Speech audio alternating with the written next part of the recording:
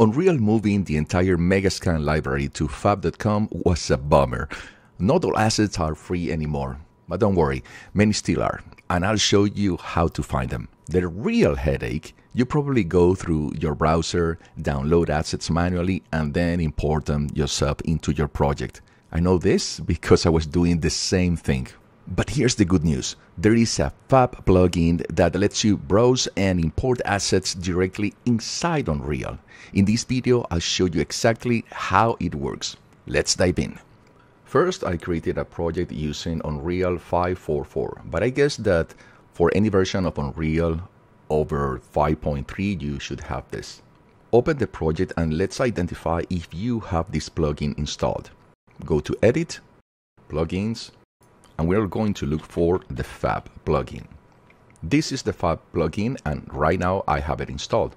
If you don't have this, close here, open the Epic Games Launcher, go to Library, and in the bottom where it says Fab Library, look for Fab. This is the plugin that you must have installed. If you don't have it installed, click here and pick the version of Unreal where you want it installed click install and finish the process. Back in your project, probably if you select edit and plugin and try to look for the plugin, you won't find it.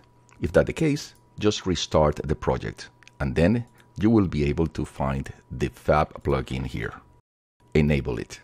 Because now you have the Fab installed, you can go to Windows and pick the option Fab. Click over it and as you can see, this is a new window inside Unreal that gets you to fab.com. You can find now the Quixel library on this section, but I'd rather go and filter it. So in the search bar, go for Quixel. If you want to find the assets that are for free, you can click here and select free. And fab.com will filter you based on that price. Now let's say I want to add one of these elements. Uh, for example, let's say this tree. Click on it and here you have the option of add to project. Click here. It is downloading to the project and now you have it on the content browser and you can drag that object into the scene.